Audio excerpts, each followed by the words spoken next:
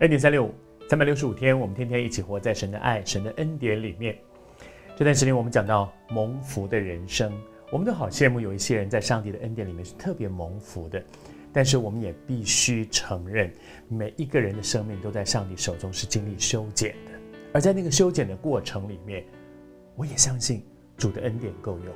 你知道，这是成为一个基督徒很大的缺据。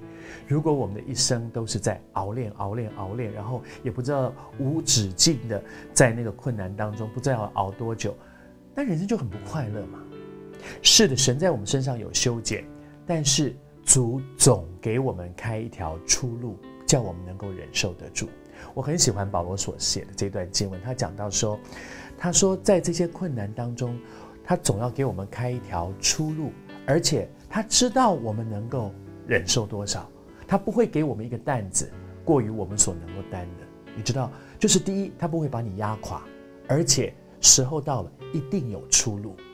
求主恩待我们，而在面对这些好像神给亚伯拉罕的一张考卷，一张一个一个试验，在面对这个考卷的时候，有一件事情很重要啊，就是你要知道他到底在考什么。如果你不知道他在考什么，你就你可能答错方向了。如果今天你你考的这个考题是要考你的这个逻辑，但是你一直在那个字面上转，你你恐怕就答错方向了。亚伯拉罕神给他的这张考卷到底在考什么呢？你看看后来天使的宣告是什么？他说：“现在我知道你是敬畏神的了。现在我知道你是敬畏神的了。原来上上帝大费周章就是要弄清楚一件事。”没有经过这些，上帝不知道亚伯拉罕的心吗？不是。其实我相信，经过这些，上帝要让亚伯拉罕自己知道你的关系，你跟我生命的关系现在到哪里了？你跟我生命的关系现在到哪里了？神要看亚伯拉罕对神的态度，那个敬畏神。这段时间，我自己对敬畏神这这样子的一个神对我们的期待，有一个很深的领受。从小我们就讲的敬畏神，敬畏神，很多的我们的参加的退休会、营会，主题就叫做敬畏神啊，操练敬畏，过敬虔的生活。我越来越发现，到底什么是敬畏啊？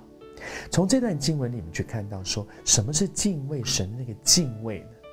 那个敬畏真的就是上帝，你是神，你是主，你说了算，你怎么说我就怎么做，这叫做敬畏神。敬畏神真的不是一个外面的东西，说啊，我唱诗的时候很投入，我我我啊，这个圣经读得很熟悉，我我方言祷告很很长，每天都花很长很多的时间方言祷，这些东西我相信对我们的生命都有帮助。可是它不对等于这就叫做敬畏神。敬畏神不是这些外在的东西，敬畏神是什么呢？敬畏神是我里面有一个心说主啊，你是主，因为你是主，你说了算，你怎么说我就怎么做。